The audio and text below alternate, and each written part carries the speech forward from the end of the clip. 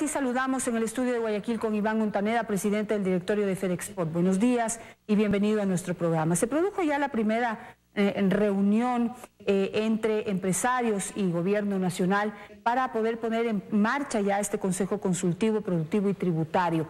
Eh, ¿Cuál es su visión del mismo? ¿Qué es lo que pusieron ustedes sobre la mesa? ¿Qué es lo que propusieron? ¿Y cómo ven el futuro de esa relación? Janet, buenos días. Nosotros como sector empresarial ecuatoriano estuvimos y estamos muy satisfechos con la creación de este espacio de diálogo en donde podemos plantear todas las propuestas que el sector empresarial requiere y el país necesita para salir de este bacho económico en el cual se encuentra. Las expectativas están planteadas, existen altas expectativas de parte de todos los actores que conformamos la cadena productiva del país. Y eh, este, qué es lo que han puesto concretamente sobre la mesa, porque pues mientras estamos todos distraídos en el tema eh, de corrupción, que por supuesto es un tema muy importante para los ecuatorianos y queremos saber cómo se combate y cómo se devela quienes han estado en todo, en toda esta maraña, eh, pues en todo este grupo que se ha robado el dinero de los ecuatorianos, pues la parte económica sigue creciendo como una bomba de tiempo que pronto podría explotarnos en la cara. ¿Qué es lo que ustedes plantean para poder, a la par que se combate la corrupción, tomar las medidas necesarias para eh, pues, enrumbar en la economía por donde se debe? Mire, Janet, la, creación de este Consejo Consultivo Tributario, en este espacio tenemos la, la necesidad de llevar propuestas todos los sectores. Sabemos claramente de que la economía del país se encuentra en un gran bache y para salir de este bache necesitamos el esfuerzo del sector público y privado. Es por eso la creación de este, de este, de este espacio eh, para el diálogo de ecuatorianos. Sin embargo, creemos que es hora ya de pasar a la cancha. Se han planteado algunas alternativas dentro de los aspectos tributarios, comerciales, incentivos de mercados, pero quiero recordar algo, que el Consejo Consultivo y Tributario no es el gobierno no vamos a tomar las decisiones, nosotros vamos a analizar las propuestas correspondientes. El encargado de tomar las decisiones es y seguirá siendo el gobierno nacional y principalmente el presidente de la República. Claro, pero en este el momento... Ecuador necesita, el Ecuador necesita de manera inmediata tomar decisiones. Creemos que hemos pasado de la invitación al diálogo, pero es importantísimo que el gobierno nos envíe señales claras de incentivos a la producción. Como por ejemplo, yo creo que se han establecido mecanismos para el trabajo del Consejo Consultivo con mesas temáticas, vamos a viajar, tenemos una agenda muy amplia, ya preparada todos los sectores en conjunto con el gobierno, vamos a aterrizar en diferentes territorios, en diferentes provincias y tenemos solo escasos 90 días. Por eso tenemos que ser muy selectivos y muy ejecutivos en los temas que se tratarán en este Consejo Consultivo. Pero además requerimos que el gobierno tome decisiones inmediatas y envíe de manera urgente mensajes al sector productivo ecuatoriano. Decisiones como no cuáles. Necesitamos una vuelta a la República. No necesitamos una vuelta a la República ni pasar 90 días para tomar medidas como el anticipo del impuesto a la renta.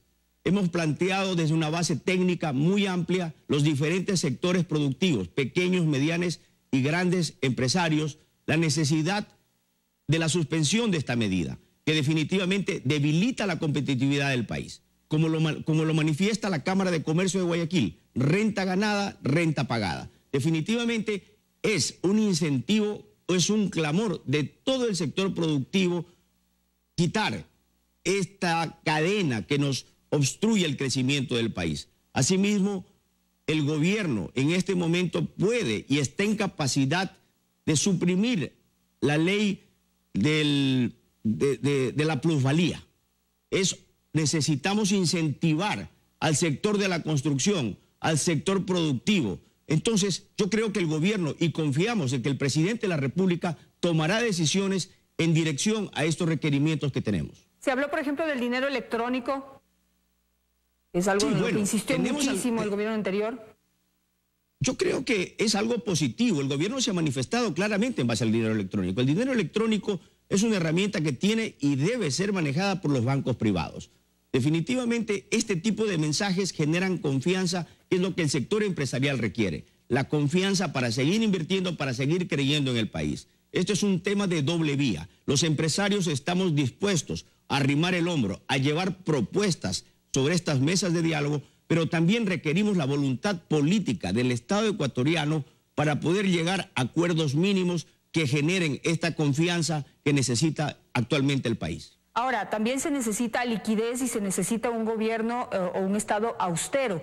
Se planteó también desde el sector productivo la necesidad eh, eh, pues de, ahorrar y de seleccionar los gastos de aquí en adelante, no tener pues chequera abierta para poder gastar en lo que quieran. Mire, yo creo que fue muy importante y sigue siendo importante reconocer en qué estado se encuentra la economía del país. El país es como una empresa y debemos tratarla como tal. Se encuentra en un estado de emergencia.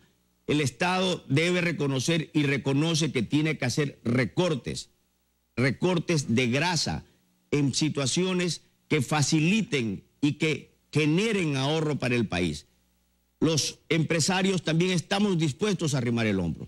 Sin embargo, es necesario la dinamización de la economía del país. ¿Y esto cómo se lo logra? Definitivamente creando más incentivos y menos restricciones.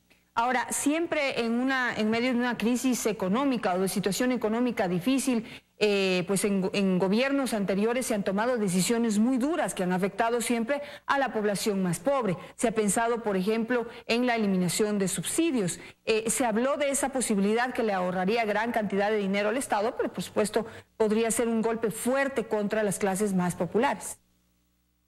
Nosotros estamos haciendo propuestas transversales que beneficien a los 16 millones de ecuatorianos. No estamos buscando los empresarios un traje a la medida, no estamos buscando medidas que beneficien al sector empresarial o al sector productivo. Definitivamente la visión que tiene el sector empresarial es una visión inclusiva que abarca todo el largo de la cadena agroproductiva que la conforman los 16 millones de habitantes. La visión nuestra está enfocada en competitividad, competitividad que arranca desde los sectores primarios, tenemos que enfocarnos muchísimo en los pequeños productores que reciban las capacitaciones y que reciban la transferencia de tecnología de los grandes productores para poderlos igualar y ponerlos en situaciones altamente competitivas y mejorar su calidad de vida. Cuando nosotros tenemos esta visión país transversal que abarca a toda la cadena, definitivamente tenemos un país igualitario y un país ganador. Ahora, usted dice que los empresarios no quieren hacerse un traje a la medida, sin embargo, desde la visión de los trabajadores, eso estaría caminando hacia allá, puesto que se estarían pidiendo reformas que consideran los puede perjudicar en, sus derechos ya adquiridos. ¿Qué les podría responder?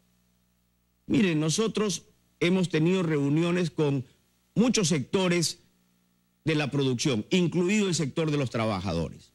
Cuando hablo de no tener un traje a la medida, es porque estamos conscientes de que el país requiere de esfuerzos mancomunados de todos los actores para salir de esta crisis.